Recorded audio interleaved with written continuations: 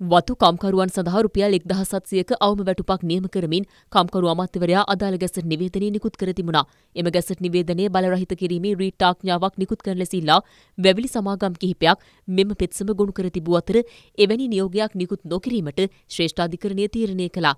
මෙම තීරණයත් සමග සතුටට පත් වූ වතුකම්කරු ජනතාව කිරිබත් අනුභව කරමින් රතිඤ්ඤා දල්වා තම සතුට ප්‍රකාශ කරන අයුරු දක්නට ලැබුණා. ඔවුන් ජනාධිපතිවරයාට කම්කරු අමාත්‍යවරයා හා වෘත්තීය සමිති නායකයින්ට තම ස්තුතියද පළ කළා. මේ එක්දා සත්‍යය පඩිය සම්බන්ධව අපි ජනාධිපතිතුමා මේ දින රැළියේදී කිව්වා ගැවන්ට බෑ කියලා කම්පනිය මේ උසාවියට ගියා. ඊය උසාවියෙන් දැඩි තීද්දුවක් ගත්තා ද සත්සයක් අනිවාර මේ මිනිසුන්ට ගෙවන්ඩ ඕනේ කියලා රනිල් වික්‍රමසිංහ ජනාධිපතිතුමා මනුෂ්‍ය නානයකාර අමාත්‍යතුමා ජීවන් තොන්ඩම නැමැතිතුමා ආගලන්ට අපි මිනිස්සු විතියට සුතිය පල කරනවා.